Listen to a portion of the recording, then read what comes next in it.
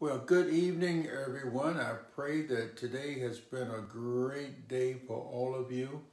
Uh, welcome, uh, Facebook family. Welcome, Greater Corinth Church family. I pray that things are going well. Here in the city of San Antonio, today's high, I believe, was around 90, 98 degrees. Amen. That's called a little cool spell based on the triple digits that we've been experiencing over the last week to 10 days. So we, uh, we're thankful to God for that. The virus is still out there. It's still running rampant. Uh, we had, I think the report today was over 1,600 new cases with 11 deaths. So let's stay in. If you don't have to go out, stay in, stay safe. And uh, if you have to go out, make sure that not when you get to wherever you're going to put on your mask, but from your house to your car. And then after you get where you're going, make sure you put it back on before you get out of your car. Amen? Great. So we got to stay safe. We got to stay work smart. And we got to continue to pray for one another. Uh, let's continue to pray for uh, Sister uh, Heather Collins. As you know, uh, her mother, Sister Word, uh, passed about a week ago, and her viewing will be this Friday in Abilene, Texas, uh, at the North Funeral Home in Abilene.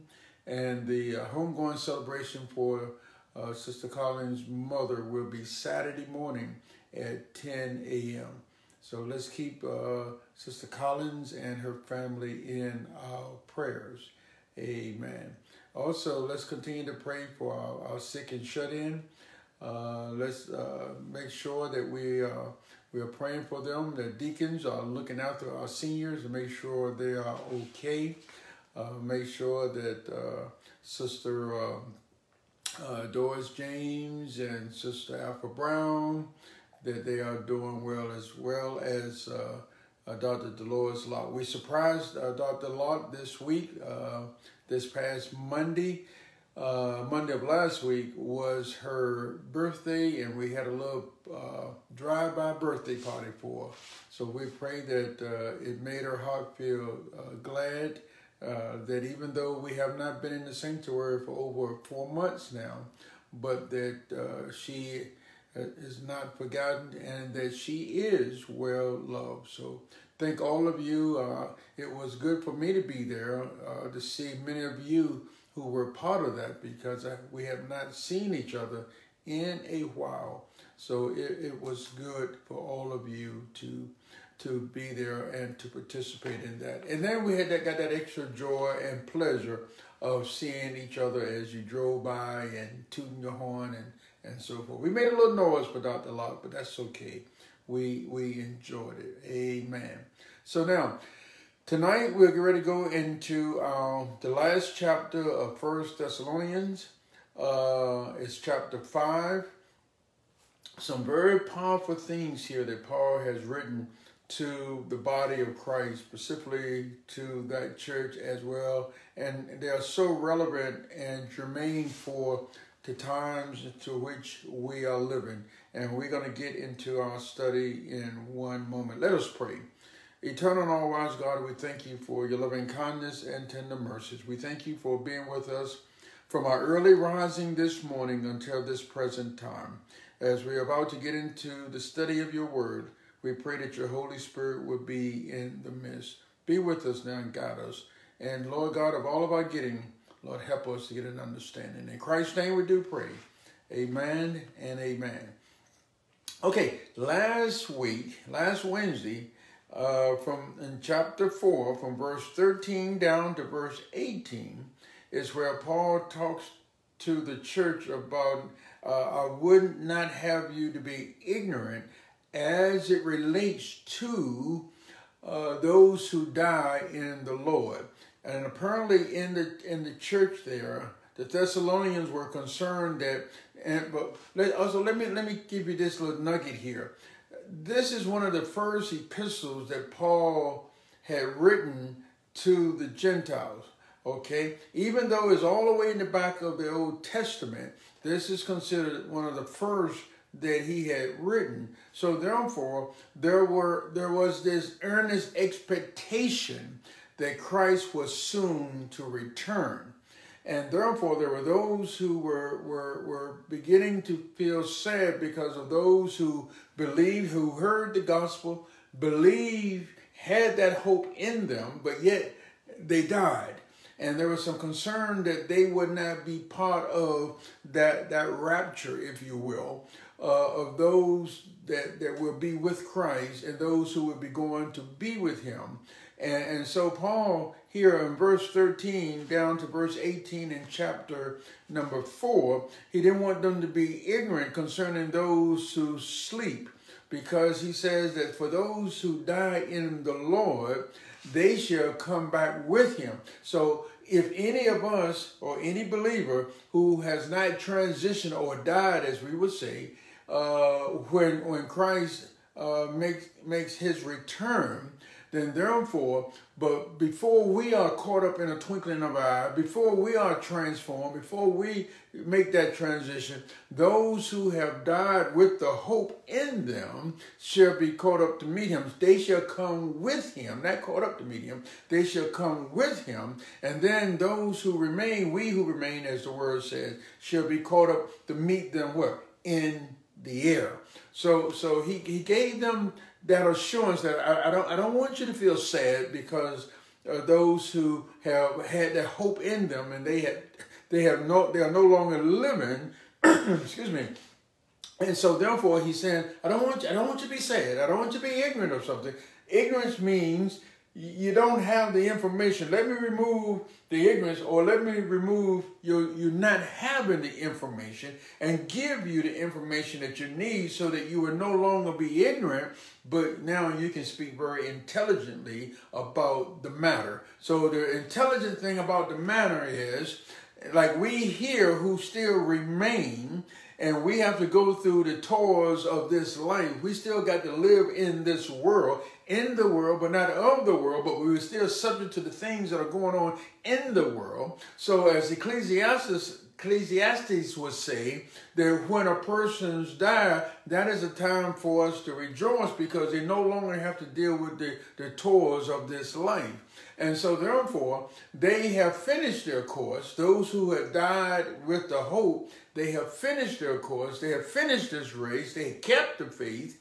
But don't think they're not going to get their reward. Paul says they will get their reward, not after you, but they're going to come back with him. So therefore, it's almost like they're going to see that glorious Christ coming back, and, and then we're going to be what? Caught up to meet them in the air. So Paul wanted to make sure that we understood that, that the church understood that, that we all uh, going to see Christ, that we all going to get there. As the songwriter would say, we all going to get to heaven and we're going to have a day of rejoicing. We're going to sing hallelujah, praise the Lord, thank you, Jesus, of how we made it over. We remain faithful unto death. So, okay, so he wanted them to know that in the end of chapter 4, that don't be ignorant. Hey, those who die in Christ, hey, they will be coming with him. And then we who remain shall be what? Caught up. All right, now in chapter 5, it's interesting because he's going to say something that we've heard many times before. Look at the verse 1 and 2. But of the times and the seasons, brethren, ye have no need that I write unto you, for yourselves know perfectly, that means you already know, that the day of the Lord, which means the day of the Lord has twofold. One, he shall come to what? Redeem us and redeem those who died in Christ. And number two, therefore the judgment shall also come with him. That the day of the Lord so cometh as a thief in the night. So therefore he's saying to us, he's saying to the body of Christ, I, have no need to write to you concerning when Christ is going to come and how anymore as to how he's going to come, but he's going to come. No man knows the day nor the hour, but he shall come like a thief in the night. And if we knew when the thief was coming, uh, we'd be ready for him, won't we? We'll be at the door of our houses We probably, some of us have our six shooters, our, our, our shotguns, and everything else waiting for that thief. And he used that example of a thief means that when you least expect it, that's when a thief comes. When you least expect it, when the world least expected, Christ is coming. And so therefore, he's going to tell us as we get further into this chapter 5, some things that we have to do to get ready. He's not back, but he's coming. How long we've heard that ever since we were a child. He's coming back. The Lord is coming back. We're living in the last days. We've been living in the last days from the time he ascended and until now. We're still living. But therefore, but we have some things that we must do to make sure that we're ready. Amen? So you see here, coming to the Stephen night, for when they shall, when they, talking about what? The world. Those who are living in darkness, and he's going to talk about darkness in a moment here. That those who are living in darkness, those who think they got it all together, those who think they are in control, the, the prince of this world called Satan, when they shall say peace and safety, then sudden destruction cometh upon them as travail upon a woman with child, and they shall not escape. Uh, uh, I think I shared with the Corinth family uh, a few times about some young ladies back home who used to, I, I can see their faces, uh, Sister Robin and, and Sister Cheryl. They, they both were pregnant at the same time, and, and for some kind of reason, for whatever reason, they felt like they had the authority and the power to call things as though they were not as though they are. And the word does say that. But there are certain things that God has not given us the authority to claim or to declare. So both of these young ladies, pregnant at the same time, both of them decided my baby will be born on this date. And my baby will be born on that date. And and of course, with me, I just sit there and listen to them, and I didn't say a word about it, and I didn't mess with them, and, and so forth, and let them, let them go on. And, and they were telling folks around in Bible study and, and the church family and so forth when their babies were coming.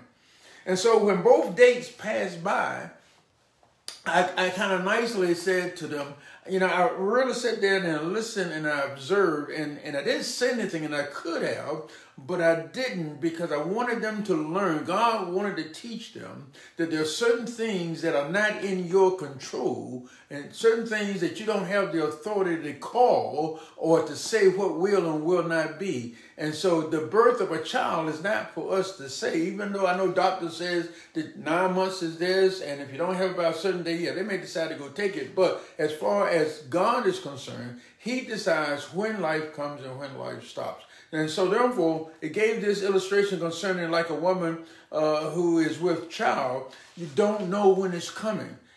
Don't know. So therefore, it will come. And when it comes, everyone will know. So as the thief comes, when sudden destruction comes, when, when the day of the Lord comes, everybody's going to know it's here and nobody will be able to escape. Amen. Because so how many times have we heard? How many times have we gone through folks who will say that the that the end time and they will give a year, they will give a date, and it will come and it will go. Why? Because no man knows the day or the hour that the Son of Man, the Son of God, our Savior, will return. Amen. Now let's look at verse 4. But ye, brethren, are not in darkness. There you go. That that day should overtake you as a thief. Now, ooh, that's that's heavy there. That is saying we who love the Lord, we who have accepted him as Savior, when the day of the Lord comes, it's not, a, it's not going to catch us unprepared. It's not going to catch us like a thief, like a thief would catch somebody who didn't know he was coming. We are in what? Great expectation. For faith is the substance of things hoped for, the evidence of things not seen. Our expectation is that when he comes, we are going what? Back with him. The day of the Lord is not for the believer, it's not for those who are walking in light, those who are part of the day, but as far as it's for those who are in the night or those who have not accepted him. So when the day of the Lord, when that day of judgment, when that day of tribulation comes, it's not for us. We should not be experiencing that because what? We're going to be caught up to meet him. Amen? Okay, so he's saying here, look at verse 4 again. But ye, brethren, are not in darkness, that that day should overtake you as a thief. Ye are all the children of light, and the children of the day. We are not of the night, nor of darkness. So therefore, here again, who are we? Who are you? Who have you put your trust in? The word says, I know into whom I have put my trust. Our trust now is in the Lord Jesus Christ. And therefore, because of that trust that we have in him, we are children of the day. We are children of the light. Therefore, his light radiates within us. His spirit lives within us. We are his. We've been purchased with a price we belong to the Lord. So when that, we are expecting that day to come. He's already shared with us in his word what that day will be like. And therefore, we don't fear that day. What we have to do is make sure that we be steadfast, unmovable, always abounding what? In the word of the Lord and in truth. Amen. So as we see here in verse 5, what? We are the children of light and the children of the day. We are not of the night nor of darkness. Therefore, look at here what, what Christians must do in view of the day of the Lord. And what that means is what we must do knowing that that day of the Lord is coming.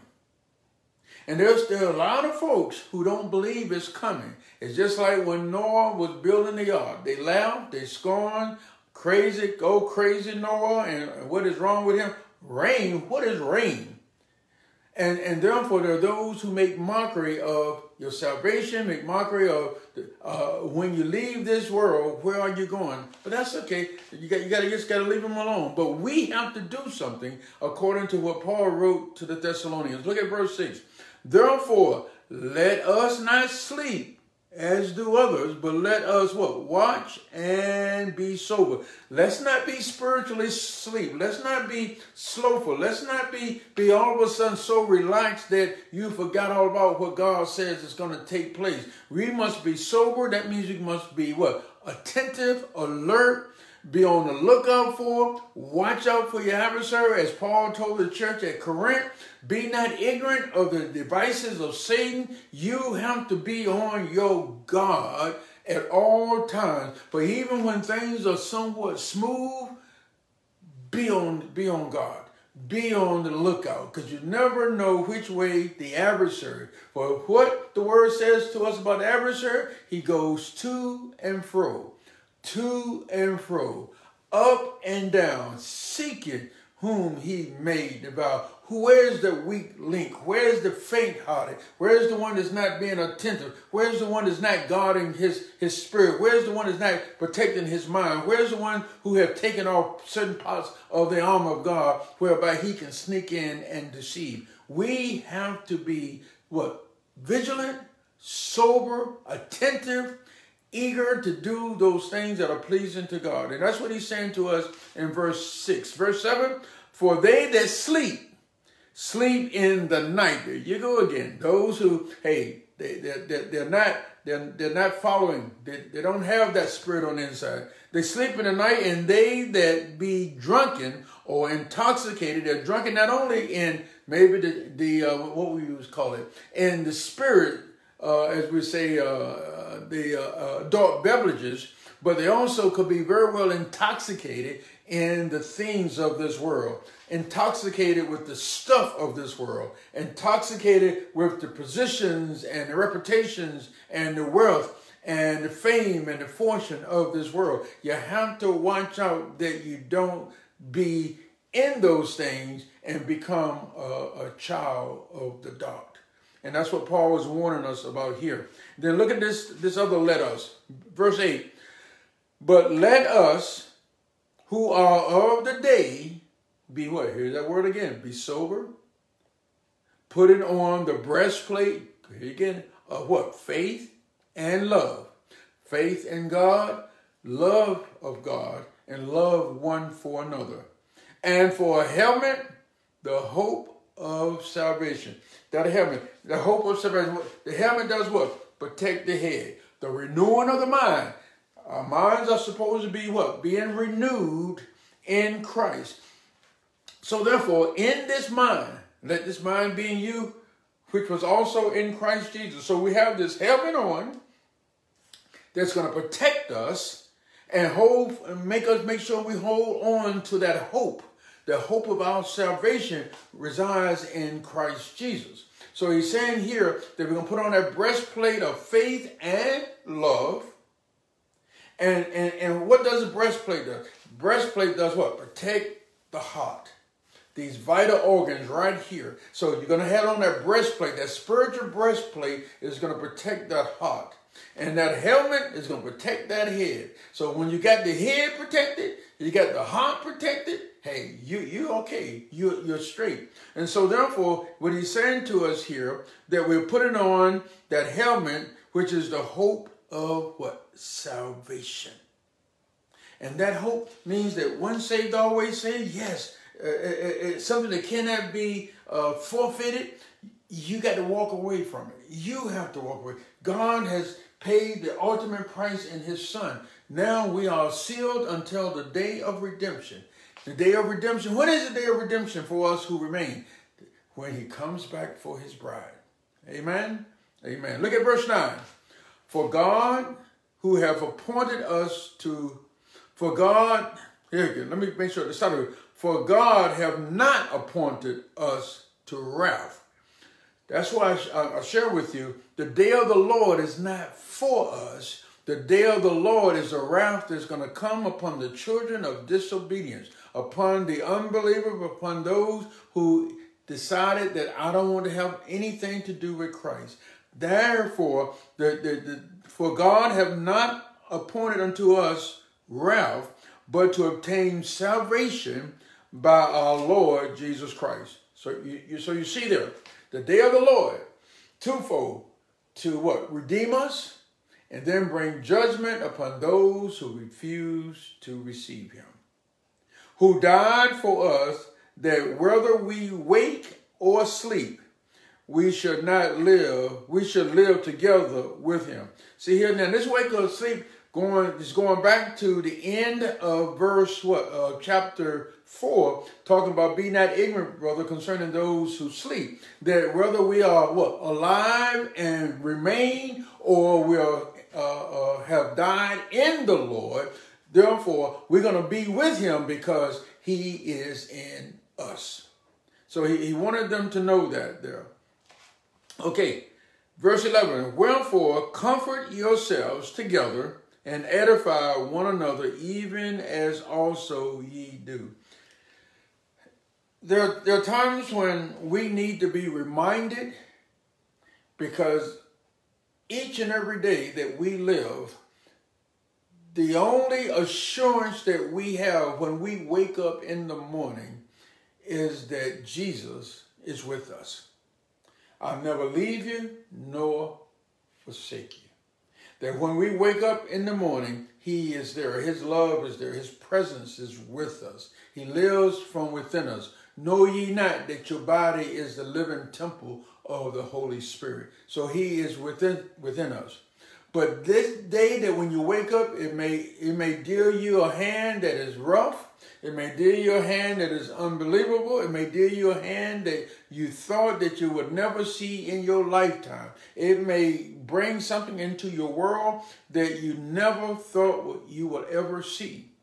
And therefore, that's why there are times when, as we fellowship one with another, as we come to church and, and fellowship and praise to the Lord together, as we see one another, what is that doing? That is encouraging each other. That is that is uh, uh, uh, motivating us to hold on, keep going.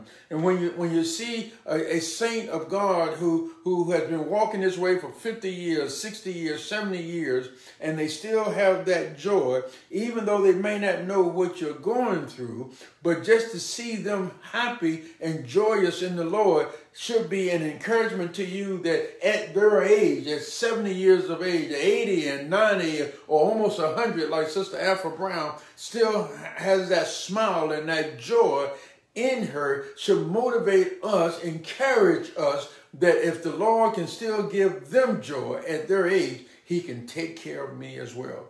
I can't control what's going on around me. I, I, didn't deal that hand to me. So that's the world gave me that situation. But because of he who is in me, who is greater than those that are going on around me and outside of me, I have the confidence that Jesus, that God is going to take me through.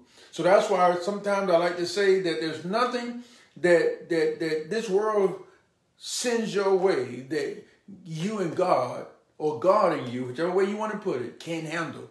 Because he would not allow it to come if you could not handle it. Amen? Amen. So therefore, we ought to encourage one another. Encourage one another while we're walking in the light, because he is the light, and therefore we are children of the day and not of the darkness. We have to encourage one another, even when sometimes this flesh feels awfully sad, feels down, feel out, we still have to encourage one another. Because sometimes it gets rough out here for all of us. Preachers are no exceptions.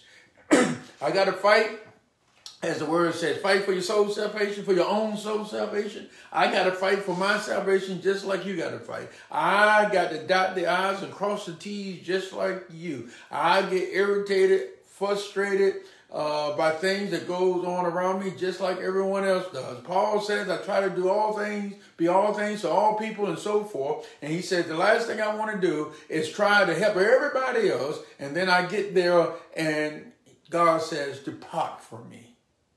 So I, I, I, got I got to cross those T's and dot those I's just like you. So we all go through moments where sometimes we're in the valley.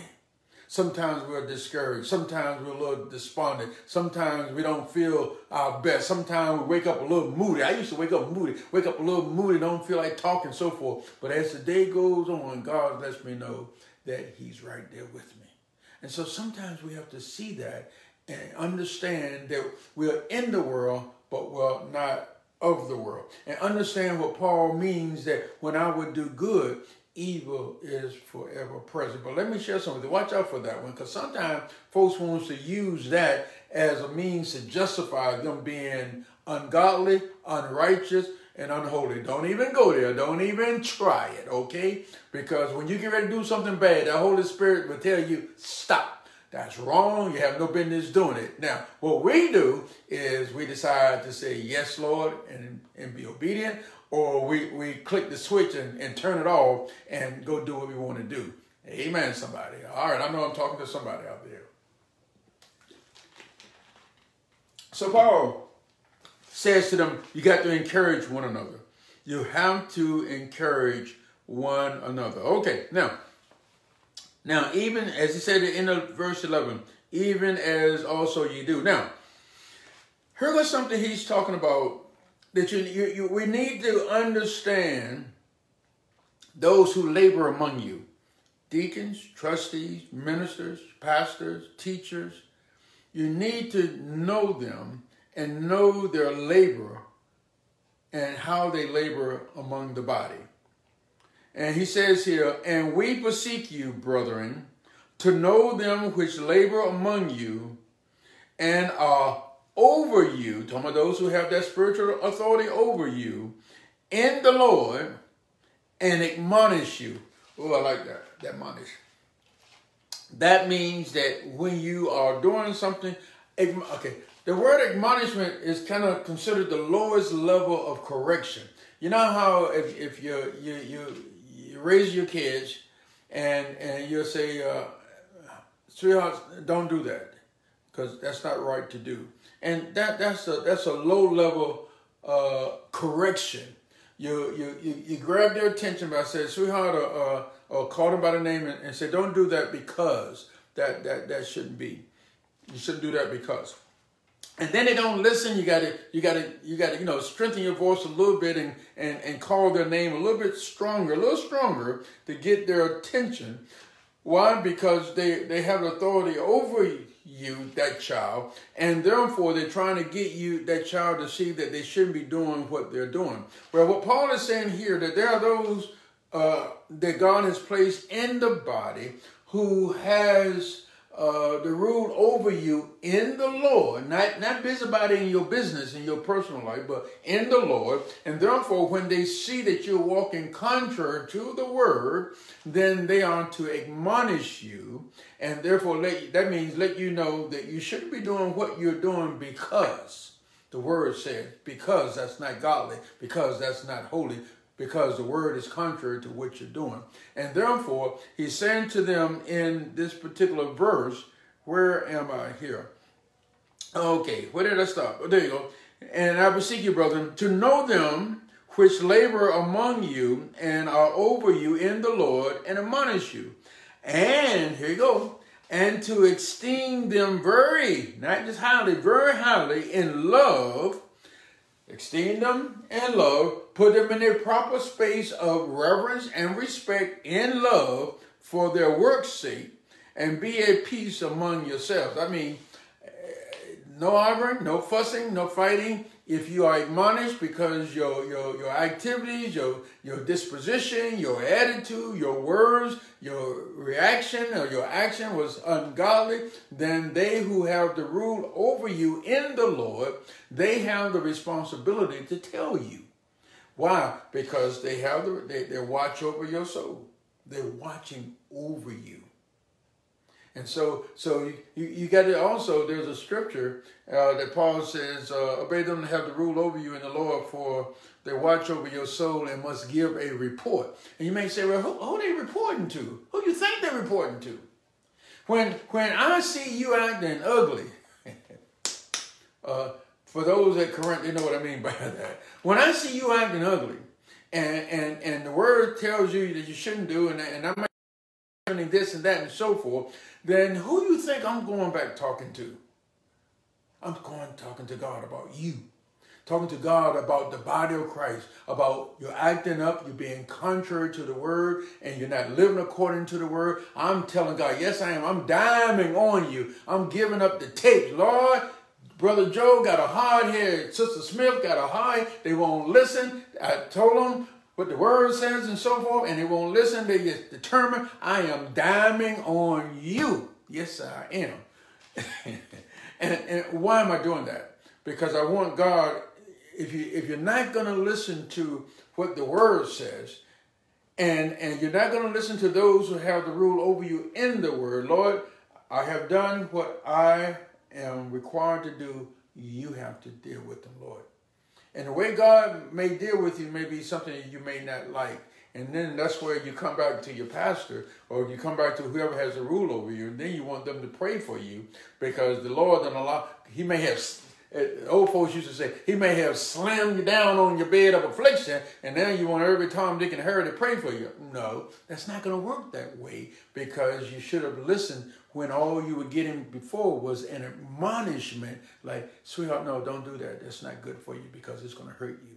You, you didn't like that because it wasn't strong enough. It wasn't forceful enough. It, it, it didn't have any teeth as far as you're concerned because you didn't feel any pain for it from it. But now you God has uh, caused something negative to come into your life. He has allowed something negative to, to, to influence your life. Now you're feeling the pain of it because you didn't listen when you should have listened.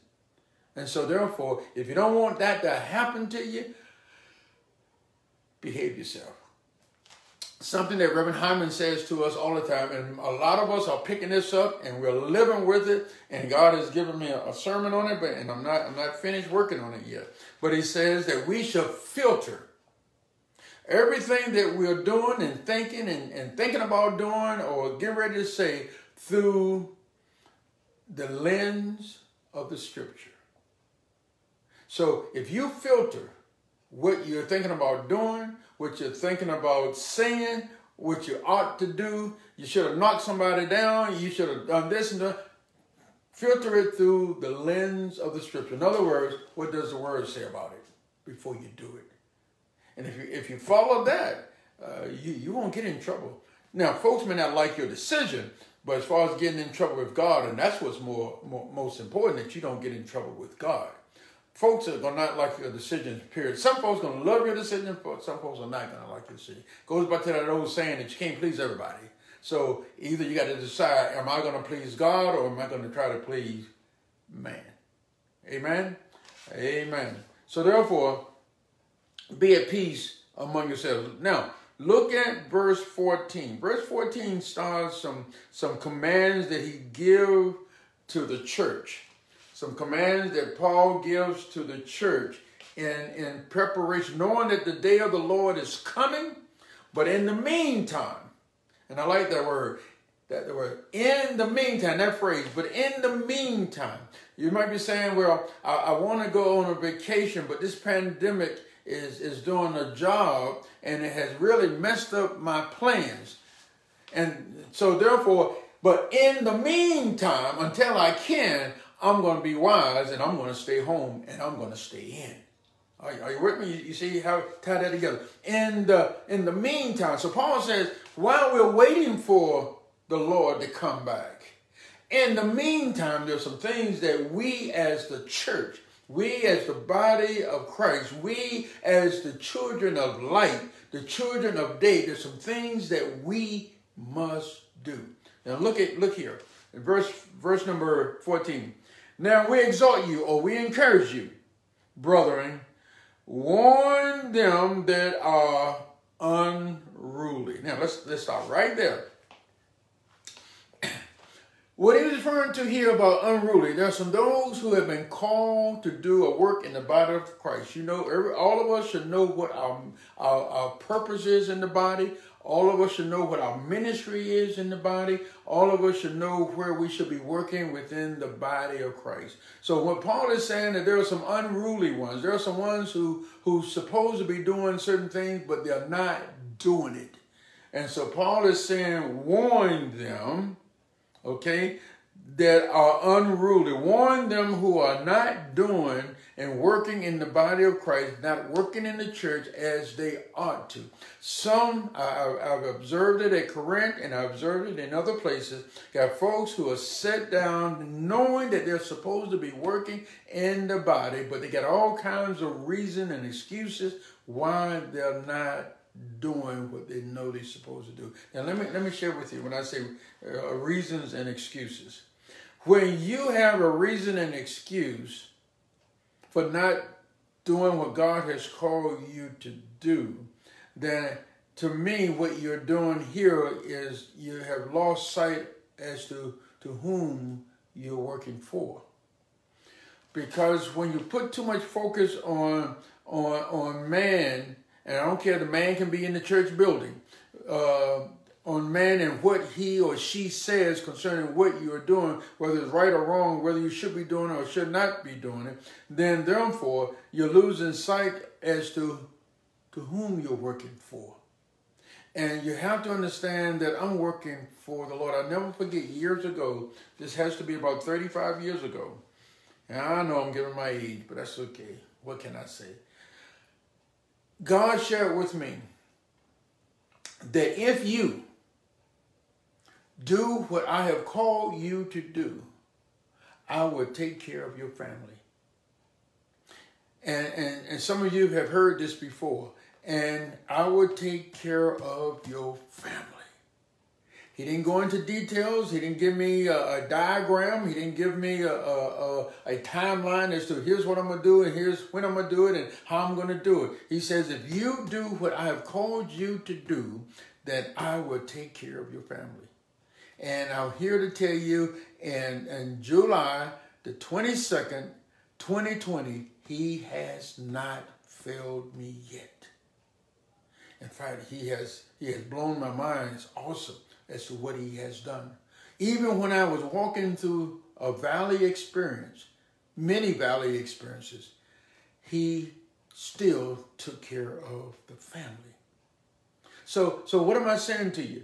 He says that warn them, warn them that are unruly. You have no business being unruly. You have to again obey them who have what authority over you in Christ. Do that which God has called you to do. Exercise your gift in the body. Work your skills and your abilities, your talent in the body. Give of yourself to the body, and God will take care of the rest. All right. Then he goes on. Comfort the feeble-minded, those who who are weak at the moment, those who who who who, who are somewhat uh, look, they're not sure, they're, they're, they're, a little feeble, they're a little wobbly at the time, but that's okay. All of us have been there at one time or another. He says to, to us, comfort them, let them know everything will be okay. Be patient with them, comfort the feeble minded, and support the weak. Be there for them.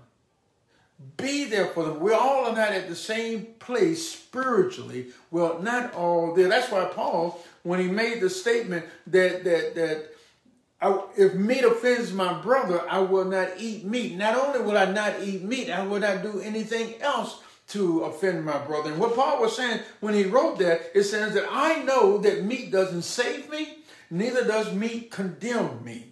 But if my brother who is not where I am in knowledge and maturity and, and spirituality don't see that right now, therefore, for the sake of my brother, I will not eat meat. And therefore, I may eat meat in my house, but I may not eat meat in front of him or her because they're not there yet. And I will not want to do anything that will be a stumbling block to them. So therefore, I will be patient with them. I will support them during that time when they don't fully understand until the time that they are there. And so here again, what he's saying to us concerning them, that, that we are to comfort the feeble-minded, support the weak, and be patient toward all men. Be patient.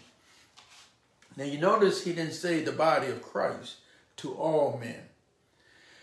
There's a there's a scripture that uh, I, I, once in a while I throw it back at the at the ministers, and they know. And before I even say it, those who are listening right now, they know where I'm going to come from, and that is Hebrews chapter five, verses one and two. I, I throw that back at them because it says to the minister that we have to be patient and tolerant, even with the ignorant. And ignorant, I share with you that word ignorant. Ignorant doesn't mean that somebody's just dumb and stupid. No, it doesn't mean that. It says that those who are without knowledge, those who don't understand, they are without knowledge. So therefore, we got to be patient. So here again, he says to us, be patient toward all men. Okay, now I want to show you something here. I'm going to read verses 15, 16, and 17 and show you how those three verses are together. But I'm going to read them first, and then I'm going to go back up, starting with verse 17, and show you how it all three tie, tie in together. Look at verse 15. See that none render evil for evil unto any man, but ever follow that which is good, both among yourselves, among the church, and to all men. Rejoice evermore pray without ceasing. Ceasing. Ceasing. Okay? Now, what, what, what, what Paul is saying to the Thessalonians here, that we should, verse 16, 17, we should always be prayerful. We should always have that prayer life uh, with God. We should be praying for everything. We should be praying about everything. We should be carrying everything, every concern, everything that's going on around us that we will carried all to the Lord in prayer. And because of that prayer life that you should have with the Lord, that you're praying about everything that's going on in your world, outside of your world, and for the church family, for your sister, your brother, your, your natural family, your biological family, your spiritual family, you're praying also. So that means that you have a relationship with the Lord. And because of the relationship you have with the Lord, look at verse 16. Therefore, you should be rejoicing all the time. Why? Because the joy of the Lord is your strength. That's an inward joy as it comes because of your relationship that you have with the Lord. And therefore, because of the relationship you have with the Lord, you are rejoicing. Why? Because you, you talk to him all the time. You're, you're communicating with him all the time. It doesn't matter whether what time of the day it is. It is not a whole long drawn out prayer. You may just be riding in your car and say, Lord, how you doing today? You may be just just just walking down the street and say, Praise the Lord. Lord, I just thank you for all that you. Lord, that's a pretty sky today. Lord, I thank you. That was a great meal that, that I, I had this evening. Lord, I thank you for the shoes. I thank you for the job. I just thank you that, that I'm in the land of the living, even though my body may be aching. I may have to wear glasses. I may have to have a hearing aid. But Lord, you've just been so good to me. You're praying, you're communicating with him all the time to the point where in you is a joy. It's a rejoicing.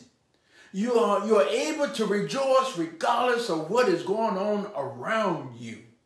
And because of your communication with the Lord, because of your rejoicing in the Lord. Now, let's go back up to verse 15. Therefore, the last thing that you got in your mind is to do evil to somebody else because they were bad to you to, to do harm to somebody else because they try to do harm to you. That's the last thing. Why? Because of your relationship that you have with the Lord, the last thing that's going to be in you is to render evil for evil. But that's right, I get back at you. That's right. Your day is gonna come. You wait. Don't mean, don't let me catch you around the corner. Don't let me catch you broke down on the highway. I'll take care of you. That's the last thing that's that's coming to mind. Why? Because your prayer life, establish that relationship, that constant communication with the Lord. You're praying about everything, and because of that, you got that joy from within. And so the last thing you're thinking about doing in verse 15 is to do evil for evil. But look at the also in verse 10. But ever follow that which is good, both among yourselves. Here again, do good among, have that special love, as the word said, to those who are of the household of faith and to all men. So you see how those three verses tie in together. What he's saying to, to the Thessalonians concerning their relationship with the Lord, concerning their prayer life, and concerning don't don't render evil for evil. Do you know that when you render evil for evil and and and you get back at them, do you know you've already received your reward, your satisfaction? And that satisfaction is to you is a temporary satisfaction because now you see them suffer as you believe they made you suffer. So you've already got your little reward because you have rendered unto them what they rendered unto you. Or in other words, and put it like this, you don't you don't got down on their level and you acted like they acted. Uh, as Michelle Obama would say, when they go low, we go high. Well, let me put it this way when they act like the devil, you act like you're Christ. You act like that. Let that light that's supposed to be in you come out and let it be seen that you live for the Lord, that you belong to the Lord. Amen.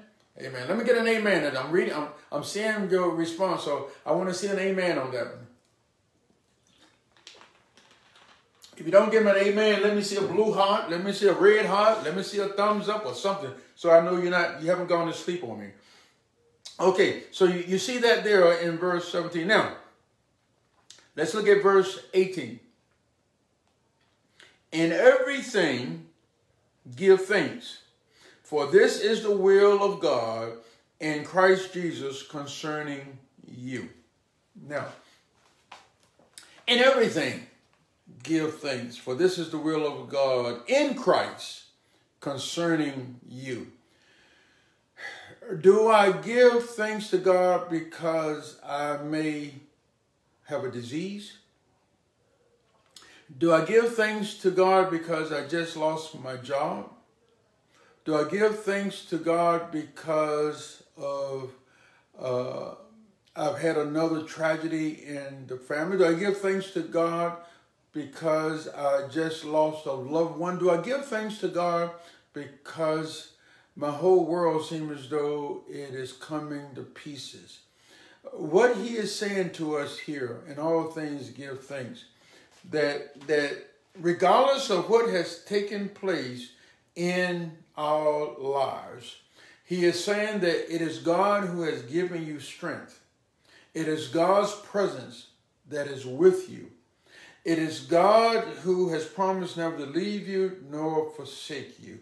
It is God who says that he has made us more than what conquerors through Christ Jesus. And so therefore what he is saying here is what you are given thanks for is that the Lord is with you. Yea, though I walk through the valley of the shadow of death, I will feel no evil, for thou art with me. Paul says that whatever state I find myself, whatever condition that I happen to be in, whatever situation that has surrounded me or engulfed me or encamped around about me, whatever state, I have learned how to be content. I have learned how to deal with it. Why? Because God is with me. So I'm giving thanks, not because I can't see, not because my body is, is, is right with pain, not because I may have a disease, not because I have lost this and lost that, not because that I'm thanking God because He is with me and He's going to give me strength to make it through that situation. That's how I give thanks. Whatever state I give thanks. Why do I give thanks? Because I must believe the word, not believe some of the word, believe all the word. For the Lord is my what shepherd, I shall not want. So therefore, if he's my shepherd and I'm his sheep, and, and therefore it says that I shall not want, then he's going to prepare that table, right? I'm gonna I'm gonna be in that pasture. He's gonna feed me. He's gonna clothe me. He's gonna protect me even though there may be hell going on around me, but the, the Lord, the God that we serve will take care of us. And so therefore I will give thanks concerning that situation. Lord, I thank you. Even if you go back to um, Lamentations, when they had been Israel had been taken into captivity and they had, been taken from, from, from Jerusalem. And, and, and, you know, when, when you have, when your enemy has taken control of you and you're now a prisoner, you wonder what's going to happen to me. And, and they, they, they kind of like Jeremiah was, was, uh, was uh, uh, kind of listened to all the things that had happened to them and what they were going through. And then, then the, the scripture said, but then I came, he said, I came to myself. And, and, and, and what it is saying here is almost similar to the prodigal son.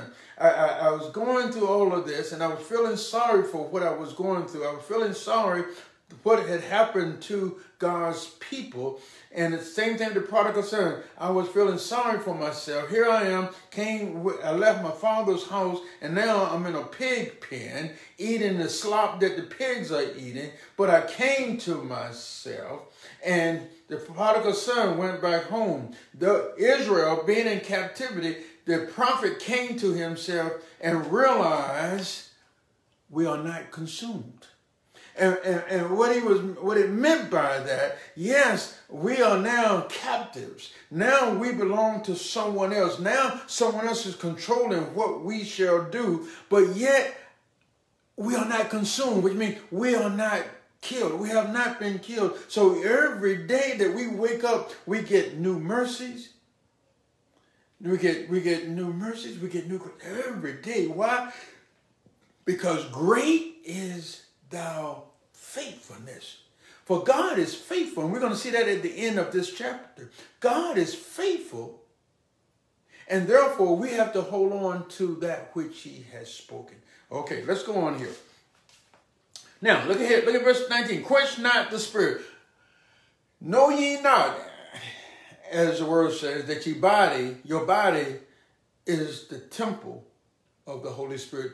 Know ye not that in you dwelleth and liveth the Holy Spirit. That means that you allow the Spirit of God to move in your life. You listen to what God is saying from the inward. You learn to listen for his voice so that you'll know without a doubt when God is speaking to you. Quench not the Spirit. Quench not the Spirit. Tie down the Spirit. Do not constrain the Spirit. Do not try to prevent the spirit from doing what God has sent it to do in you, and that is to bring all things back. You remember I told you about how when, when we get ready to do something wrong, we, we, we flick that switch? Well, when you flick that switch and ignore what the Spirit is saying, don't do that, you're quenching, you're, you're, you're, you're going against what that Spirit is telling you, don't do. Amen, somebody. Okay, quench not the, uh, the Spirit. Despise not prophesying. I want you to look at the verse 20 and 21 because it's very important. I'm going to explain something to you here. Despise not prophesying. In other words, the, the, the, the, prophesying here is talking about despise not the preaching of the gospel. Despise not the preaching of the word of God. Despise not they who come and proclaim the word of the Lord. Preaching the gospel, no matter how many times you have heard the gospel, we, the body of Christ, needs to hear it again so that it will bring certain things back to our remembrance. Why? Because we're in this world. We are bombarded with all kinds of stuff every day that you get up. You're bombarded with from the TV, from the radio, from the newspaper, the online, conversation, the work, the neighborhood, the family, your friends. We are bombarded with stuff every day. We need to hear the word. We need to be reminded what God says in his word. So he says, despise not prophesying, despise not the proclaiming of the gospel. Okay? Now, here goes verse 21. It's very important. Prove all things. As you hear this gospel preached, as you hear the proclamation, prove all things, hold fast that which is good. That prove all things means this. You don't just take what you hear as being true. You need to get in there and do your own research to make sure that the person is on target. Now, on, on, on last Sunday, I preached about learning how to accept what the decisions that God made. And I talked to the church, I talked to you about what? Two men anointed by God's prophets, called to be kings, both had sinned and both repented, but one repentance was from the heart and the other one was not. But what I said, I did a misstatement, and I wonder how many of you caught it because I did not catch it until somebody brought it to my attention. And so I made a misstatement the, the message, the main thought of the message didn't change. That two men called by God to be king, anointed and prayed for by the men of God, both sinned, both repented, but one repented from the heart, repented from the heart. Where I misspoke, and I wonder how many of you caught it, I used the same prophet for both kings and that was a misstep. And, and therefore, it was, it was Samuel, the prophet Samuel, that dealt with Saul.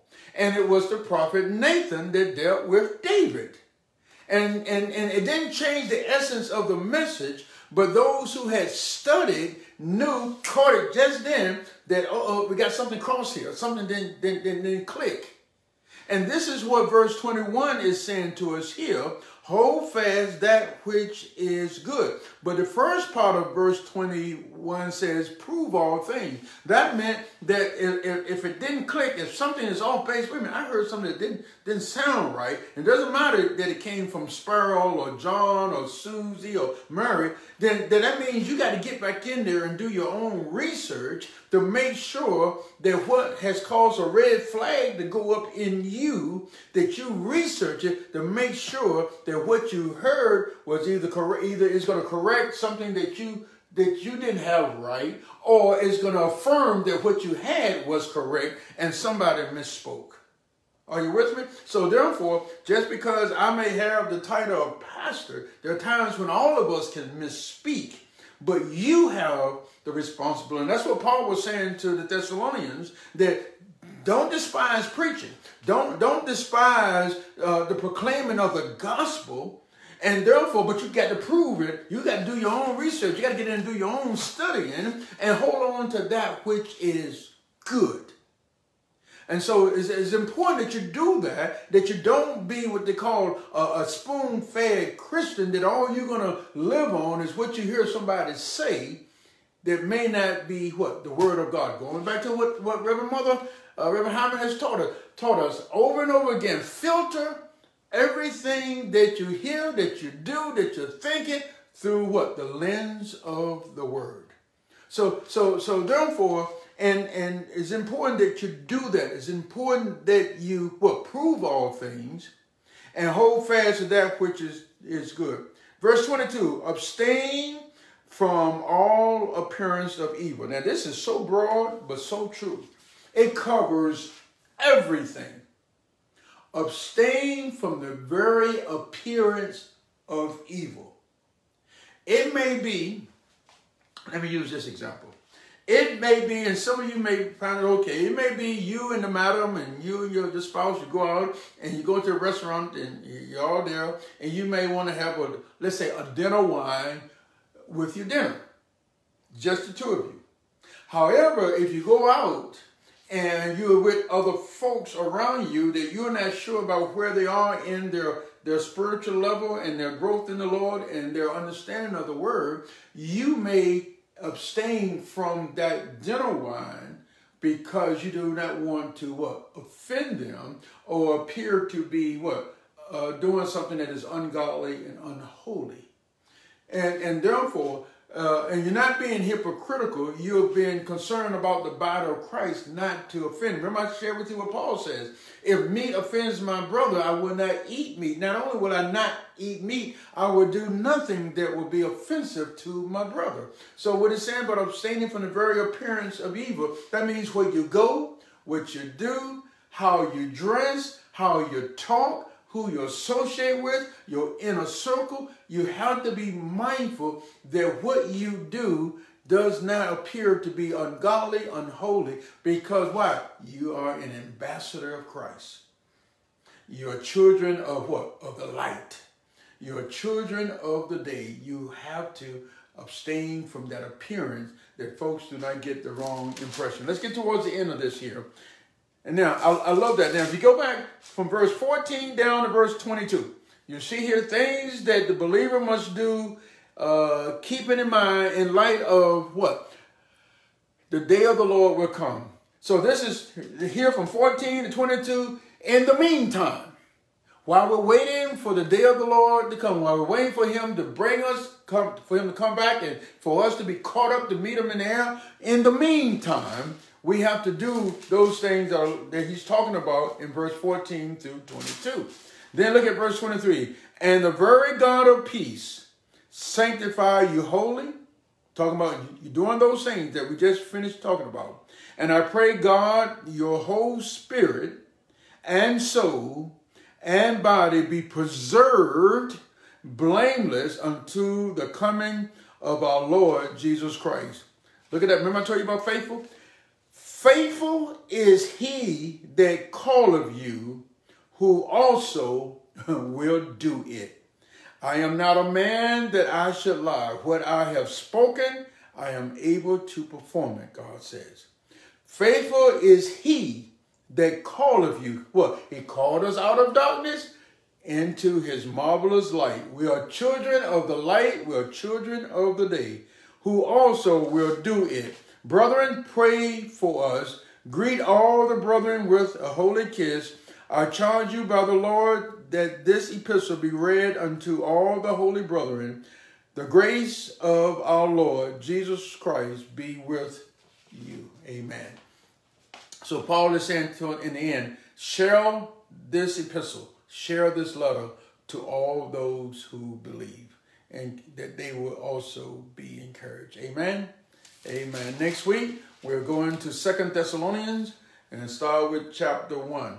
And we, I pray that, the, that, that, that these five chapters in First Thessalonians have edified you to the point of understanding who we are in the Lord, that we should be rejoicing always in Him and be thankful that God is in our lives.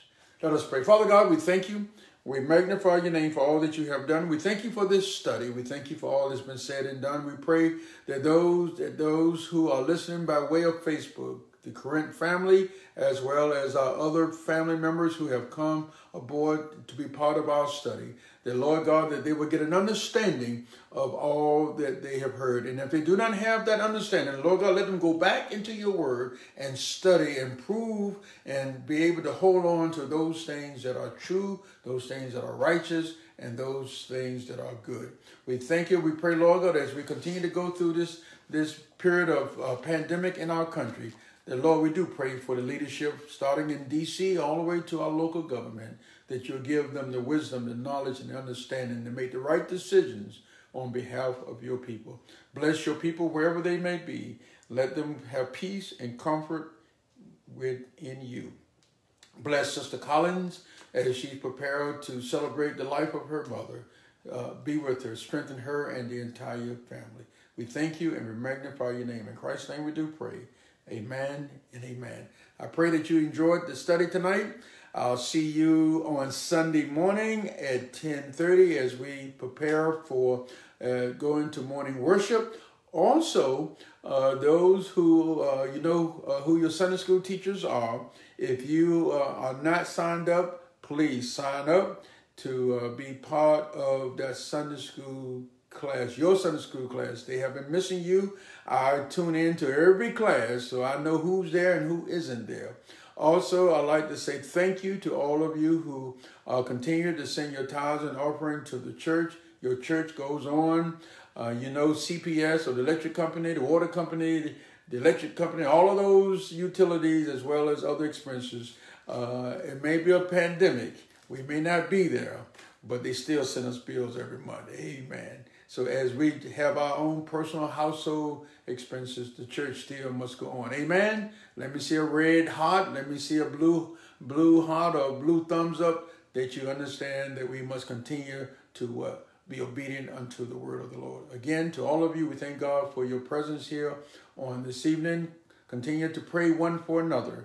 Continue to love one another, for when you can love one another, then shall men know that you are his disciples. God bless you and have a good night and be safe out there.